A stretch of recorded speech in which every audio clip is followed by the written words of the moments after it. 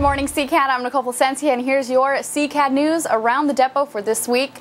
Well, CCAD has officially said goodbye to the UH-1H Iroquois Huey. In a ceremony last Tuesday, SeaCat employees and veterans from around the coastal bend gathered out on the flight line to see the last Huey take off from the depot.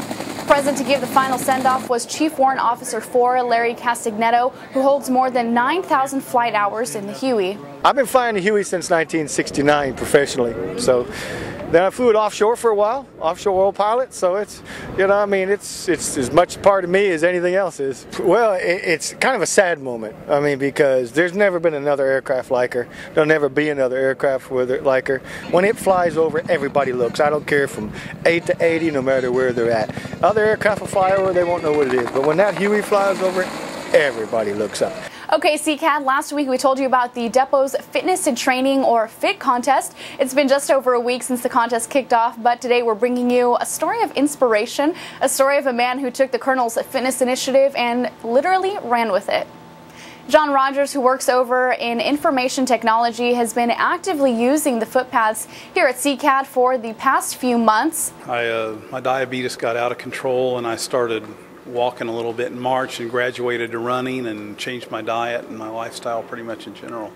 Every day we uh, walk at the same time. We do a 1.7 mile loop at lunch, then I run five miles after work, and then I walk with my wife in the evenings for another two and a half miles. Mm-hmm. You have to schedule your priorities and not let your schedule take over. Getting in shape and my health better is a priority with me, so I just make time.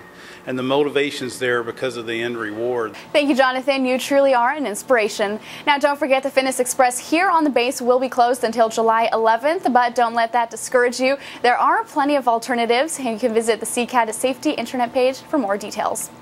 Now, right in line with CCAD's fitness initiative is one of the Army's top priorities, the Comprehensive Soldier Fitness, or CSF, a program aimed at helping soldiers, their families, and Department of the Army civilians be as strong mentally as they are physically.